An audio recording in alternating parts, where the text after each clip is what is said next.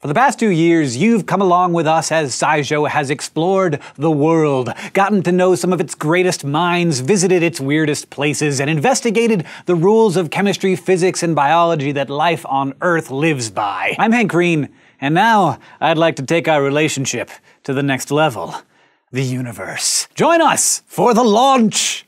See what I did there? Of SciShow Space, a new channel dedicated to exploring the cosmos from just outside our atmosphere to the center of our galaxy and beyond. And we won't be doing it alone. I'm Caitlin Hofmeister. Have you ever wondered where the solar system actually ends, or what seasons are like on other planets? And what spacesuits will be like for the next generation of space explorers? Well, we can answer that and a whole lot more. I'm Reid Reimers, and every week Hank, Caitlin, and I will also bring you the latest in space news. New discoveries, recent launches, mission updates, and even tips for skywatching in your own backyard.